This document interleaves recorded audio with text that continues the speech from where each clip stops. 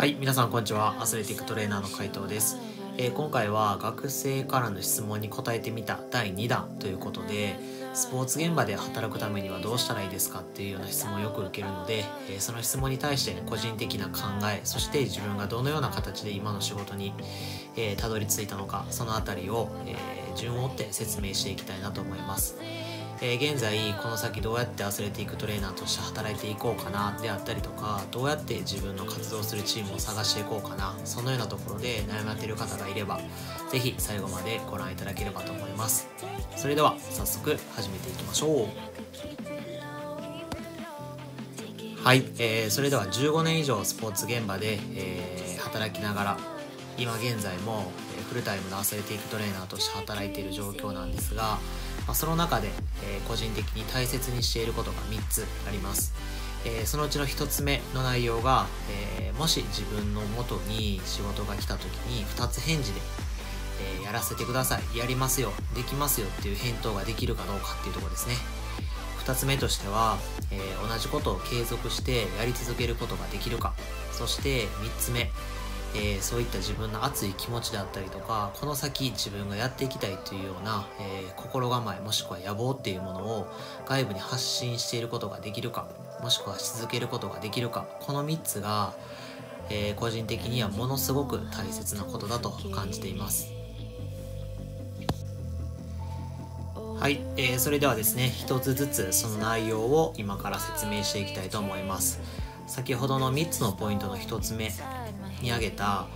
え2つ返事でイエスとまあね返答ができるかどうかっていうところなんですがこれは結構流動的に仕事が訪れる可能性が非常に高いアスレティックトレーナーって言われる業界の中で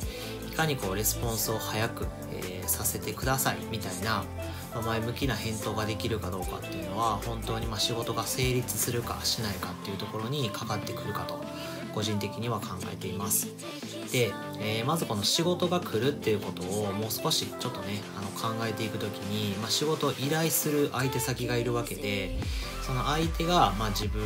に対してこう仕事をしてくださいって言ってるのであればあながちすごいこう間違ったねあの仕事、まあ、言い換えるとあまりこう期待してなかったもしくはあんまりしたくない仕事っていうのはそうそう訪れることが少ないなと思います、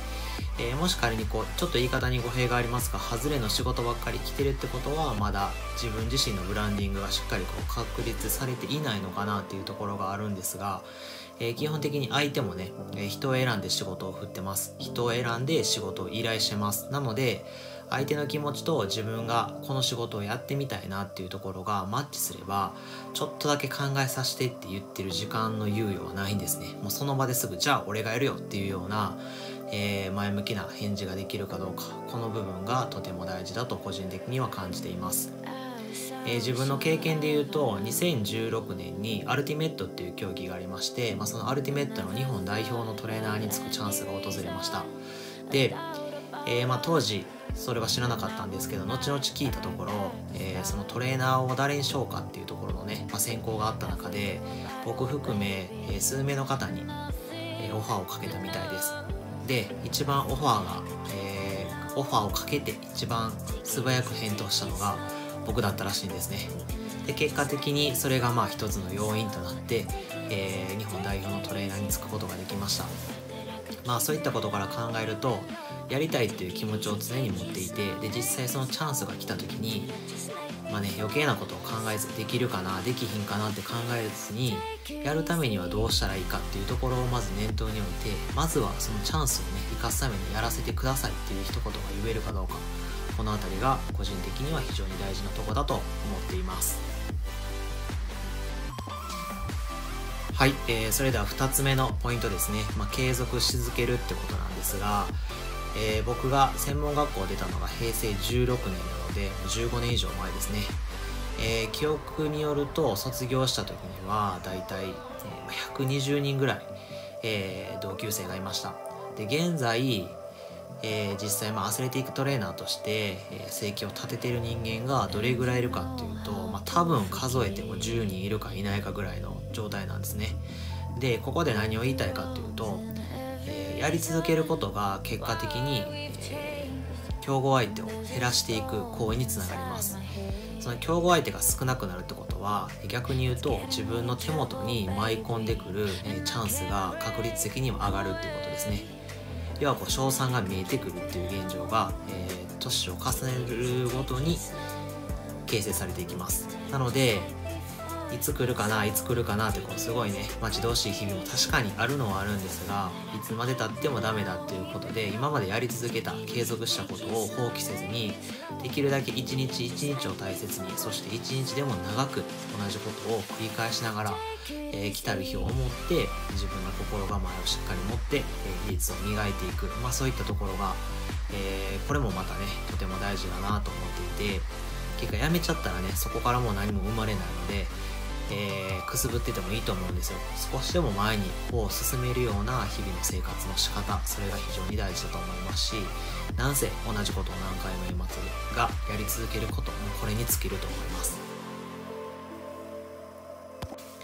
はいじゃあ最後ですね。3つ目。えー、外部への発信を継続しているかどうかし続けることができるか。これもね、えー、他の2つと比べて同じぐらい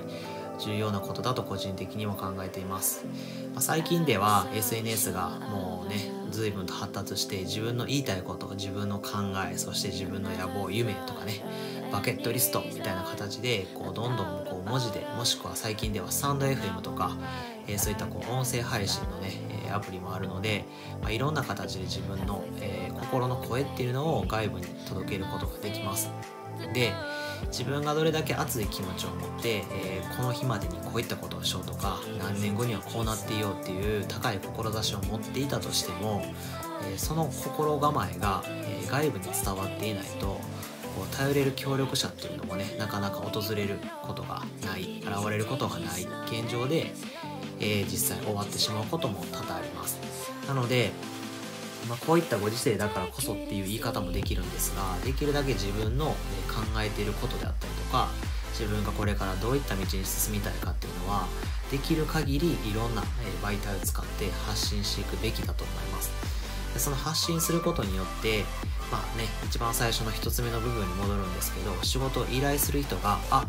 あいつなんか最近こういう仕事したいなって言ってたなっていうところとリンクすればもうこっちのもんですよね。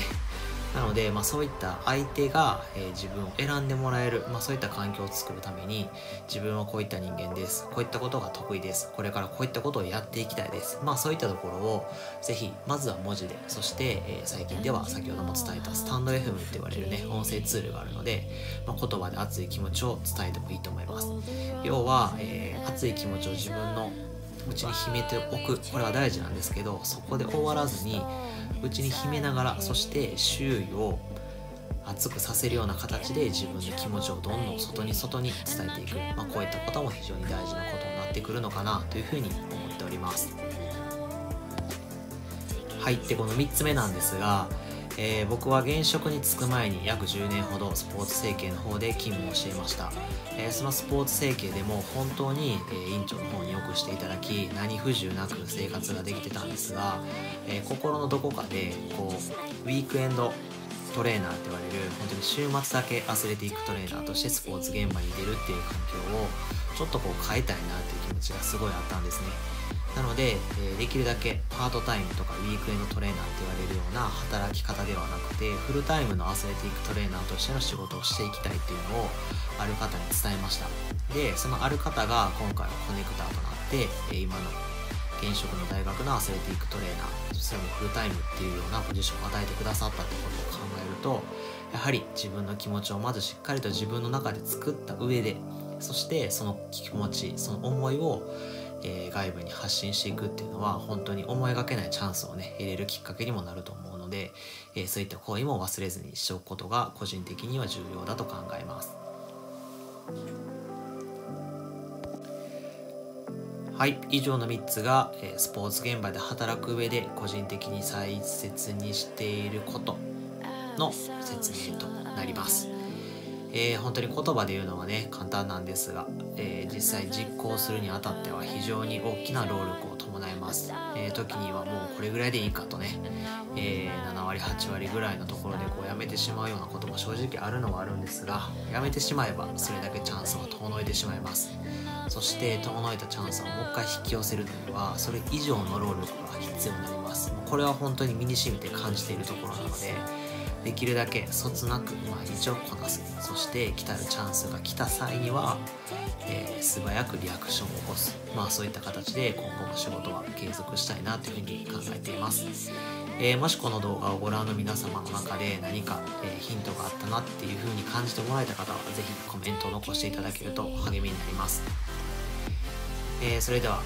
今回は学生からの質問に答えてみた第2弾ということで収録をしてみました。もしよければチャンネル登録そしていいねボタンよろしくお願いいたします。トレーナーの回答でした。